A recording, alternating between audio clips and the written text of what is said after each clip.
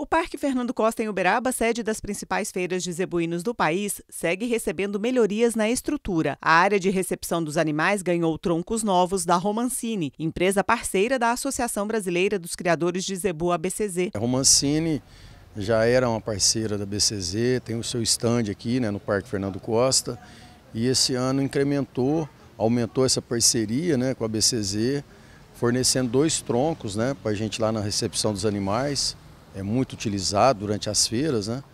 para maior conforto dos animais, bem-estar dos animais e dos próprios funcionários, né? trazendo mais segurança. Né? Os troncos já foram instalados e devem oferecer mais praticidade e eficiência no manejo dos animais. A expectativa é de que sejam utilizados já nas próximas feiras. É, essa estrutura na expogenética, o, o, perfil dos animais né?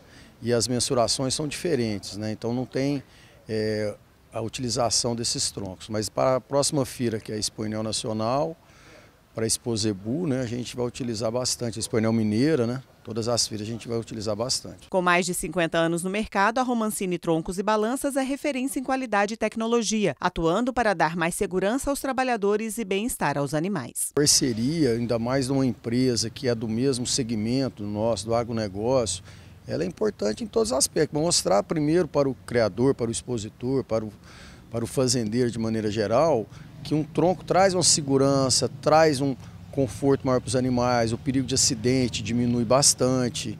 Então é, traz também essa parte é, informativa, né? É, explicativa do, de como manusear, de como tratar.